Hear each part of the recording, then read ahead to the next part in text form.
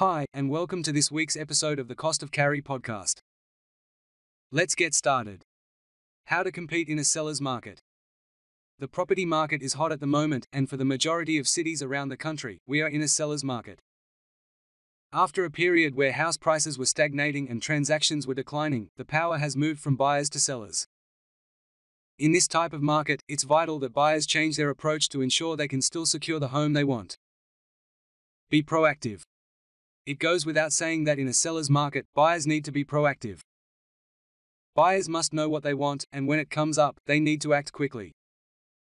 Buyers should have researched the neighborhood they are looking to buy into, so when a property comes up for sale, they already know its real value.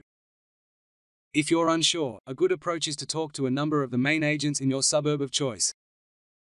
Agents are on the front line and know exactly what the buyers are chasing and also what the sellers are thinking. Get pre-approved. In a seller's market, buyers often find themselves competing against a number of different buyers. Sometimes, price isn't the only determining factor in getting a deal over the line. There are many instances when the vendor also wants some degree of certainty that a transaction will go through if your offer is accepted. Cash offers are obviously the most powerful, but few buyers will be offering those terms. Having a pre-approval in place so you can settle quickly is probably the next best thing in the eyes of a vendor.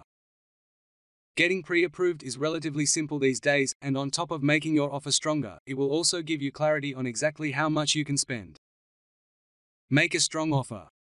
When property markets are rising, you will need to come in early with your best offer. There's often not a lot of room for negotiation in a seller's market, and if there are multiple bidders, it is usually to the detriment of the buyer. By bidding strong and early, you might be able to knock out the competition and take the property off the market. It's also worth noting that markets can change month by month. What was a competitive offer three months ago, when you first started looking, might not cut it anymore. Get personal. While many people like to look through real estate listings online, if you're serious about buying a property in a competitive market, it might be worth talking directly to the major agents in your area. In most cases, agents have lists of active buyers with whom they share their upcoming listings. Keep in touch with the agents and let them know what you're looking for. You might find yourself in a situation where you can purchase a property through an agent before anyone else even gets to hear about it. And that concludes this episode of the Cost of Carry podcast. Thank you all for tuning in, and I'll see you in the next episode.